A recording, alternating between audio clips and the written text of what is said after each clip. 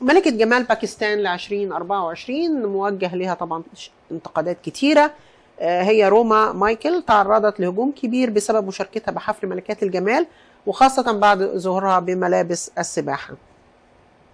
يعني هي خرجت وسابت البلد ومفيش فايدة وراها وراها برضه.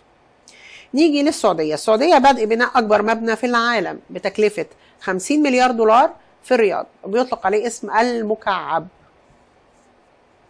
بس المكعب بس يعني مش شبه أي حاجة. وهيبلغ ارتفاعه 1300 قدم وعرضه 1200 قدم عند اكتماله. مما يمنحه حجما كافي لاحتواء 20 مبنى بيضم مطاعم رائية مساحات كبيرة بالتجزئة لبيع التجزئة ومكاتب يضم 104 آلاف وحدة سكنية و9000 غرف غرفة فندقية مع مساحات خضراء وشاسعة. بالتوفيق بالتوفيق. الفلوس برضو تساعد وبلا شك السعودية بتغير بتغير نفسها كتير كتير يعني. في سؤال للمناقشة كده أنا معرفش ليه اتعمل ده اللي يعرف يا ريت يقول لنا.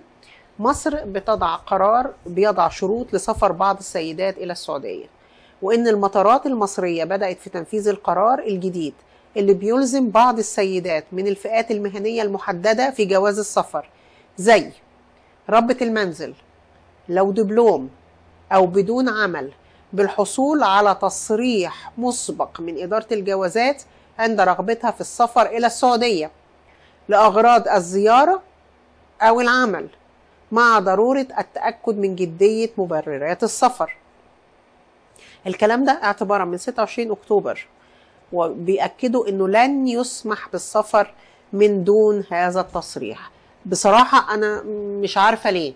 لو حد يعرف إيه السبب أنهم طالبين الورقة دي من الناس اللي في الباسبور بتاعها دبلوم ما, بت... ما بتشتغلش ربة منزل دول ليه بس بالذات؟ وليه لازم يقولوا هم مسافرين ليه؟ وتكون المبررات مقنعة ليهم يعني خلوها بقى بشكل شخصي آه أنا مقتنع أو مش مقتنع. يعني يا ريت نعرف أكتر. يوم الخميس الماضي زار الملك تشارلز جزيرة ساموا الواقعة في المحيط الهادي وأقيم له حفلا ملكيا حيث ارتدى تشارلز وكامل إكليل من الزهور وتناولوا مشروب الآفا المقدم في قشرة جوز الهند كجزء من جولاته الرسمية لتعزيز العلاقات الدولية والاهتمام بالبيئة والثقافة. بنتمنى له الشفاء زي ما حضراتكم عارفين موضوع الكانسر اللي هو عنده.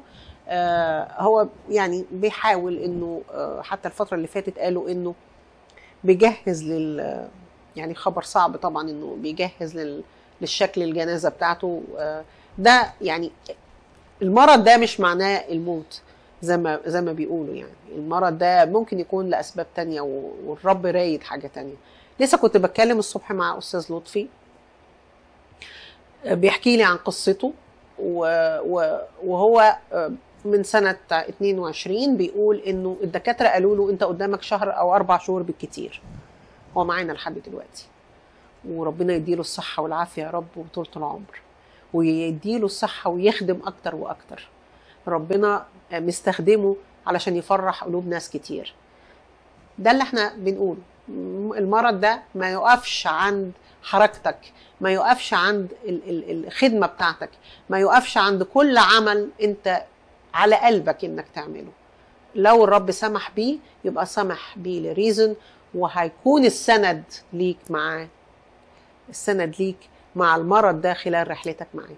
ربنا يحفظ الكل. خليني أختم حضرتك معاكم بالفيديو الصغير.